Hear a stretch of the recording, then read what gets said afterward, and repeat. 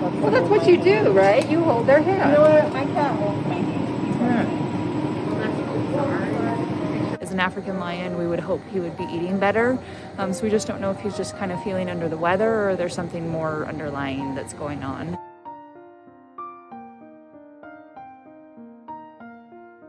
to see if we can kind of just jumpstart his appetite um, and getting him feeling a little bit better.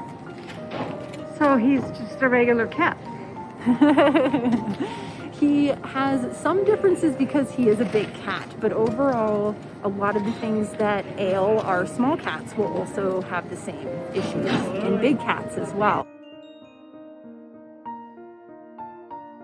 Um, CSU has the expertise, of course, as always, but then we also, um, the imaging that you guys can do. Um, so they did a full CT on him today.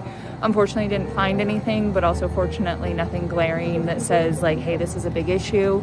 Um, so maybe he's just having an episode that we really don't, you know, know why, and we can kind of get him over the hump to live a nice, long, happy life.